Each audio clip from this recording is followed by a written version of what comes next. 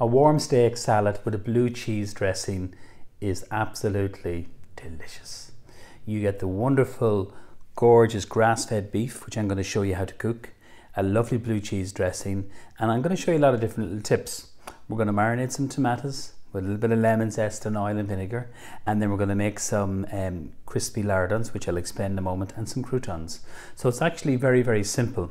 So we'll talk about first of all the steak. I need to heat my pan. So I'm using the strip loin, which is one of my favorite cuts of steak.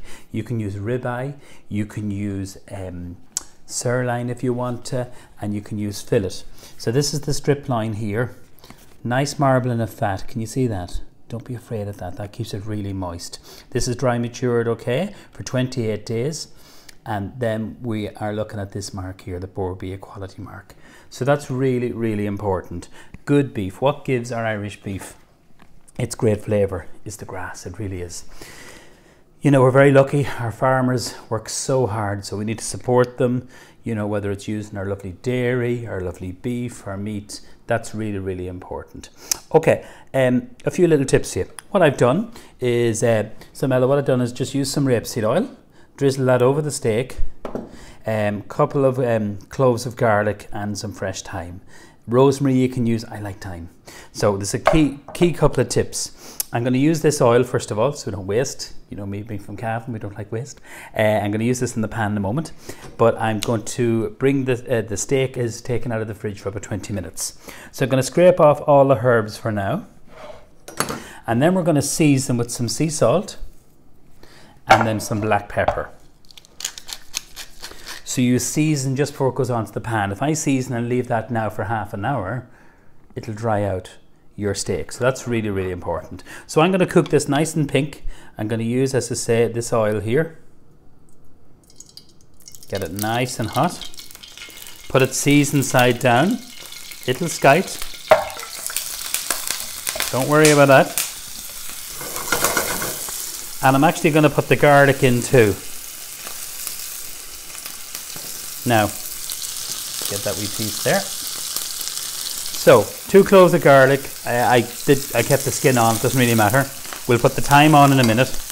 I'm going to season up the other side, and then some black pepper. So even on a barbecue, that's a very simple marinade for any kind of steak or meat. Rapeseed oil. This is from Derrycamma, County Louth. It's Irish produced. I like it. You get a really nice high smoke temperature. When I cook a steak, what I like to do is add butter.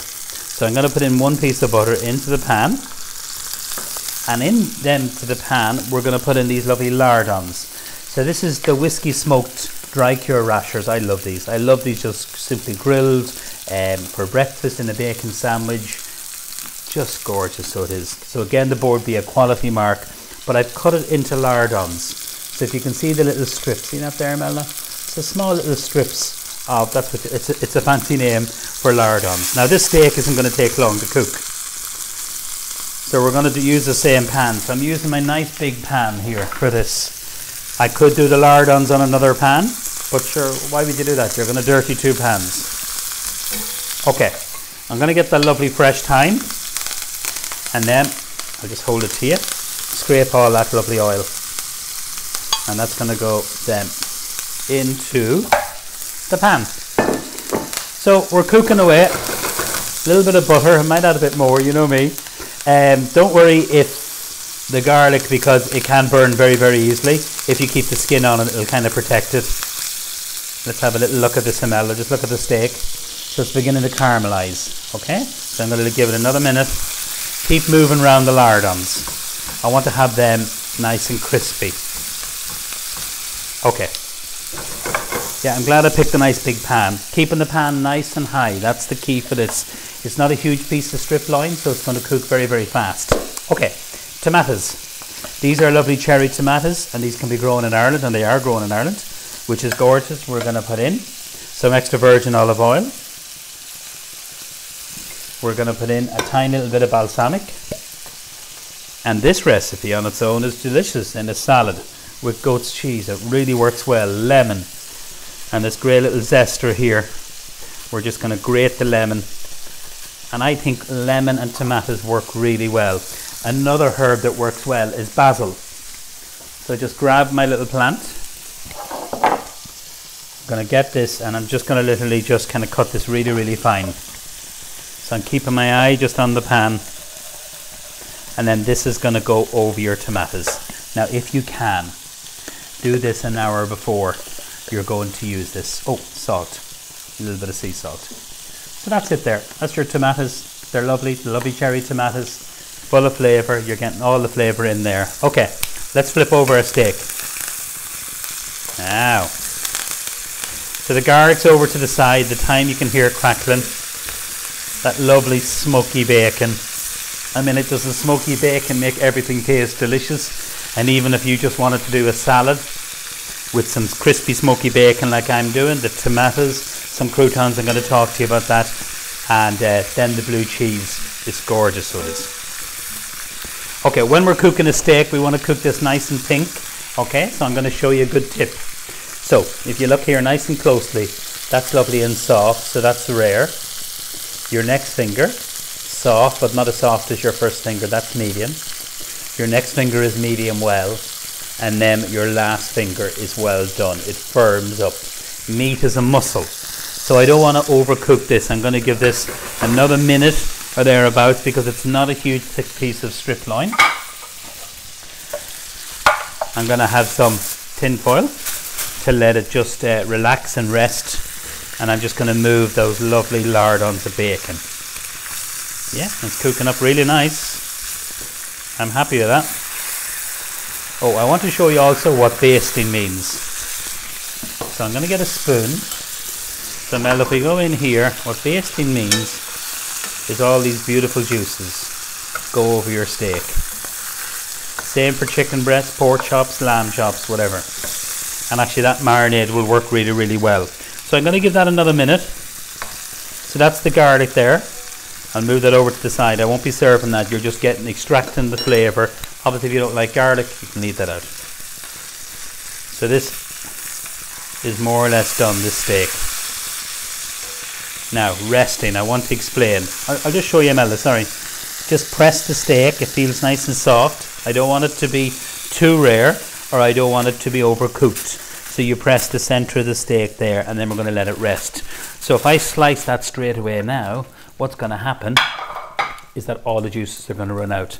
Really, I should leave that for about maybe 8 to 9, 10 minutes, but I, I won't have time for that just for the video. So the lardons there, you we look there, Melda, they look great. Nice and crispy. I'm going to switch that off. So they're going to be absolutely delicious. Okay, tomatoes done. Now we're going to make our little dressing. So this is some uh, balsamic vinegar and then we have some extra virgin olive oil. So just using my large spoon, we're going to put in two of the vinegar and this can be made ahead. And then one of the balsamic. Listen, I love balsamic. It's one of my favorite vinegars you know, I got to meet this producer in Modena, and um, in Italy, they just really value tradition, and it's such a beautiful vinegar. It really is. You could use sherry vinegar, which I think sometimes is really gorgeous uh, with lentils and that. A little bit of flat leaf parsley. I'm going to show you how to chop that. A little touch of lemon zest. Why not use it? And then we're going to chop this, and then our blue cheese. So just roll this all up here the pan is off I'm not going to cut it too um, I'm not going to cut it too small rock it over and back see the technique this is my large chef's knife okay so this is part of my cookery collection my cookware and this goes into our little dressing there Melda so black pepper I'm not going to put salt in I'll tell you why because this blue cheese that I'm going to show you Crozier Blue. So we all know Cashel blue, which is one of the most iconic, famous blue cheeses in the world. So this is made in Tipperary and it's absolutely fantastic. So um, I got down to meet the family, the Grubb family. They're just so passionate. So this is made with sheep's milk and it's a really lovely one. And this would be a cheese that we would have on our cheese board in MacNean House. So you can use, of course, the Cashel Blue, whichever you like. Um, I do like blue cheese and I've got to like it even more to be honest with you. So this is what it looks like here, Melda. So it's nice and ripe and delicious. Before I add it into my dressing, I'm just going to whisk this, combine this. If you want to, you can throw this all into um, a NutriBullet. You can hand blend it, and then you can just literally kind of like blend in your cheese. So that's the blue cheese there. So I'm going to crumble this in here. And if you weren't all looking, I'd have that in my mouth as quick as you could count to two. So just crumble that in there. So this will give the lovely saltiness. This salad is all about great steak, really nice smoky bacon, delicious cheese, and then we're going to talk about our croutons and the tomatoes. So that should be more than enough. So cover that in cling film, keep that in your fridge, and that is lovely in a sauce. I'm just going to wash my hands. Uh, the sauce, everyone, is really, really nice with some um, steak. So if you're doing a nice uh, sauce with blue cheese. Okay, croutons. I had some leftover ciabatta bread. So what I did was in the oven, drizzle them with a little bit of rapeseed oil, a touch of salt, and they're really crispy. So they are. I baked them off at about 160, done them yesterday, and they will keep in an airtight container. And uh, they took about maybe 10, 15 minutes. So you could keep them in a container like this. Just a little Tupperware. Something like that is perfect. So there are your croutons. This is where the crunch of the salad is going to come through. So we're nearly ready to serve up. So it's a great way of using if you have leftover any kind of bread can be done. You don't have to use ciabatta. You know, it works really, really well. Okay, let me just give this a little stir. So this is our dressing here. So we have the blue cheese. I could have blended it. I could have made a really smooth kind of a dressing, but the vinegar, the blue cheese, and that lovely oil and a little bit of parsley. Parsley isn't essential, but I think it works really, really well. Okay, we're going to get our steak. We're going to bring this all over. And then if you look at this Amanda here, we have a little bit of juice. So I'm just going to put that into my dressing. We're not going to waste it. And when you're cutting the steak, because this isn't a, a very thick piece, okay, I'm just going to use this knife here. It's one of my carving knives. So we're going to remove this little bit here and then we're going to cut it into little lengths. So I'm going to show you now. It should be pink. I'd even like it a little bit pinker than this. But resting is key. I can't emphasize that enough. I love those bits. See those there? Oh my god. I'd be chewing away at them. So that's what we're looking for. Look at them. Lovely. Moist, succulent. Just leave that there just on your little bit of kitchen paper. Okay, we're going to serve this up. So we have some lovely salad leaves, which I'll just wipe this here. So wash your salad, keep it covered in some tissue paper. We're going to get our tomatoes, and then we're going to arrange this then, okay, just like this. Now, and then our smoky bacon. I'll use the same spoon actually coming straight from the pan. So this is the kind of warm element too. Just a little bit of the garlic skin. Yeah, look how crispy that is. Perfect. Them are delicious steak. So arrange that and always kind of dress your salad at the last minute. Yum. Croutons, texture, flavor, that's what we want. You can hear that nice crunch there. So this should be really, really tasty. And then that beautiful blue cheese dressing and you just dress at the last minute. So we use the strip loin, you could use ribeye, you could use any of the other kind of cuts, fillet, rump, anything like that, sirloin, but I like this strip loin. And that's our blue cheese.